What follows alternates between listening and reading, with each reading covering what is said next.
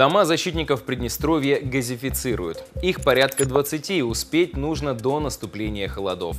Вопрос обсудили на Координационном совете в правительстве.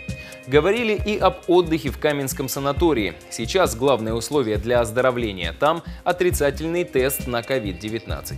Пенсионерам, которые по бесплатной путевке отправятся в санаторий, ПЦР сделают бесплатно. И еще обсуждают вопрос доплаты помощникам воспитателей за дезинфекцию помещений. Эту работу относят к разряду вредной, и по закону за нее положены доплаты. Но няни в детсадах сейчас их не получают.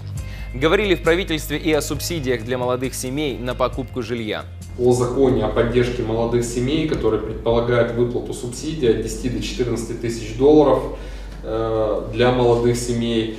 Э, в этом году у нас эта программа по понятным причинам э, не финансируется, однако в следующем году мы планируем, что эта программа обязательно начнет свое функционирование. Это крайне важный вопрос, вопрос обеспечения жильем молодых специалистов.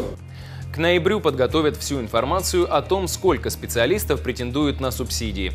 Соберут заявки, а с января 2021 года программа поддержки молодых семей начнет работать.